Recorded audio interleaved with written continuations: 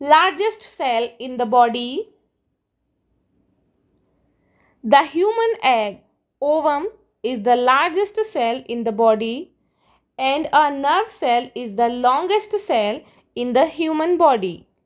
The sperm is the smallest cell in the human body but also one of the most complex. Let's see again. The human egg that is called ovum is the largest cell in the body and a nerve cell is the longest cell in the human body. The sperm is the smallest cell in the human body but also one of the most complex. For more such videos, please subscribe our channel and press the bell icon for the latest notifications. Thank you.